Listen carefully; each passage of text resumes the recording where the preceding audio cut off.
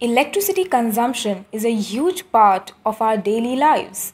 We eat with electricity, we work with electricity, and we even flirt with electricity.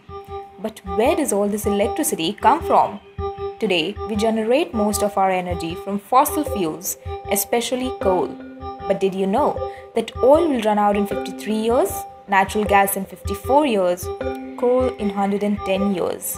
We have been harnessing the wind since the ancient Egyptians used sailboats to travel. Windmills were used for agriculture in China 2000 years ago. Americans were using wind turbines to produce electricity as early as 1800s. Without the powers of the wind, our ancestors would never have been able to travel and explore the wonders of the world, exchange knowledge, or trade. India too has reason to feel happy and proud. At over 25,000 megawatts of installed wind capacity, wind is India's largest source of renewable energy. And India has the fourth largest installed wind capacity in the world. Wind energy sector is 70% indigenized, a true make in India success story. The government of India has set the target to install 60,000 megawatts of cumulative wind energy by 2022. Wind is air in motion. They may look small from a distance, but a modern turbine can be as tall as a 20 story building, with each blade being as long as a football field. Wind turbines harness the energy of moving air. The air blows over the turbine blades, creating lift, like the wings of an airplane.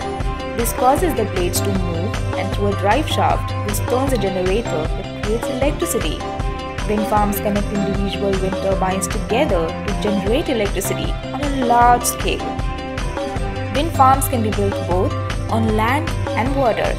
By 2022, if the government achieves a target of installing 60,000 megawatts of cumulative wind energy, then do you know what will happen? India will have the equivalent of 3 crore 43 lakhs 26,019 homes powered with wind energy which means 14 crore 87 lakh 4775 people will have electricity at home. Over 5 million jobs will be created. Over 12 crore 96 lakh 91,800 tons reduction in carbon dioxide emissions, which means no shortage of power, less unemployment, less poverty.